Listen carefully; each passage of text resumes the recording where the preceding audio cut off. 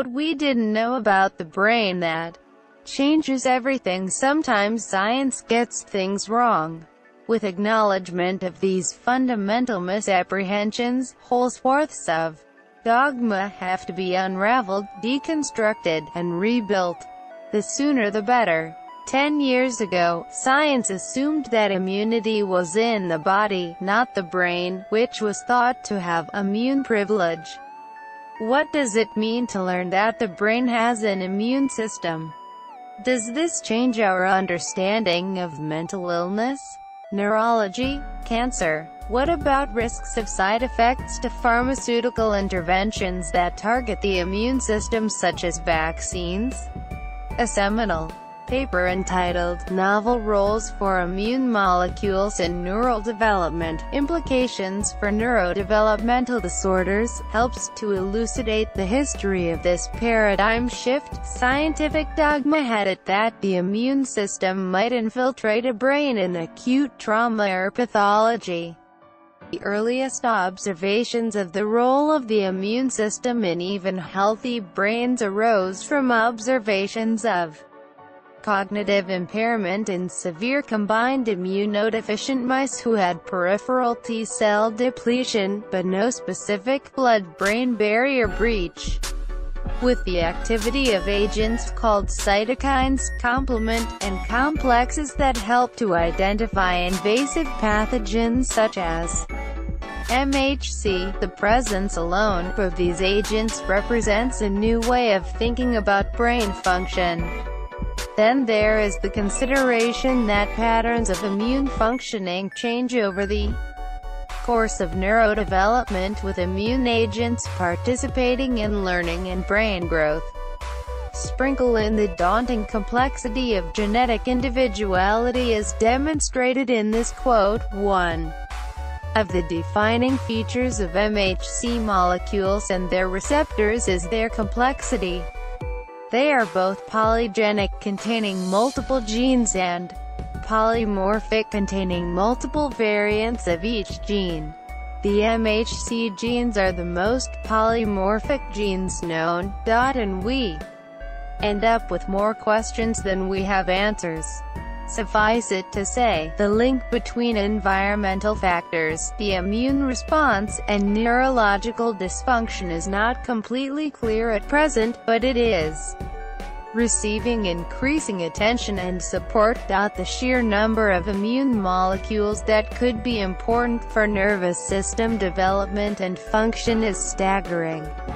Although much progress has been made in the past 10 years in our appreciation that immune molecules play critical roles in the healthy brain, the large majority of immune molecules have not yet been studied for their presence and function in the brain.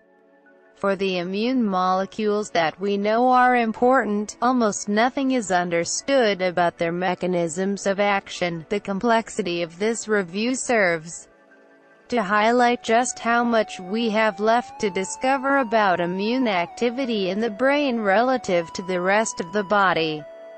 That said, the notion of immune-brain crosstalk has become the underpinning of modern theories of cytokine models of mental illness. When the brain's immunity goes awry, depression one of the most predictable side effects of interferon therapy for hepatitis C is depression. In fact, 45% of patients develop depression with interferon treatment, which appears to be related to Elevated levels of inflammatory cytokines IL-6 and TNF cytokines can also be induced by lipopolysaccharide LPS, an endotoxin produced by gram-negative bacteria that can be administered orally and is employed in animal models to induce depression-like syndromes. Mice that lack IL-1B, a cytokine that mediates inflammatory response, however, are protected against these LPS-mediated depressive symptoms, i.e., lost interest in sugar water, suggesting that these inflammatory messengers may be a key part of the depression equation.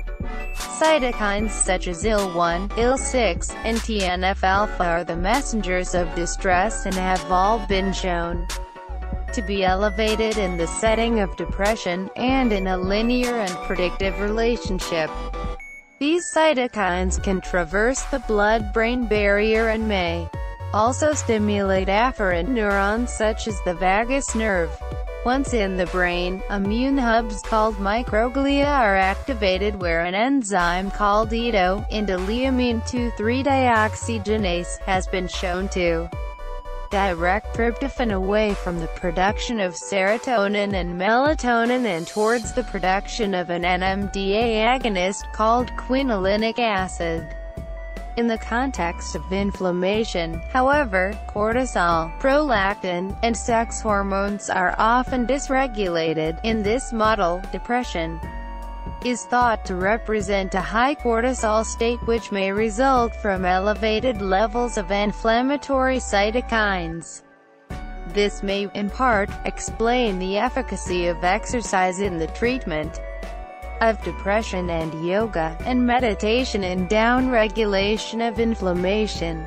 Next read John Bolton will seek to redefine U.S.-China relations and push back against aggression news analysis decades of a conciliatory approach by the United States toward China could be finally coming to an end, as President Donald Trump has tapped John Bolton to be the next national security Read more after threatening veto, Trump signs $1.3 trillion spending bill after briefly threatening to veto the $1.3 trillion government spending bill. President Donald Trump signed the measure on Friday, March 23.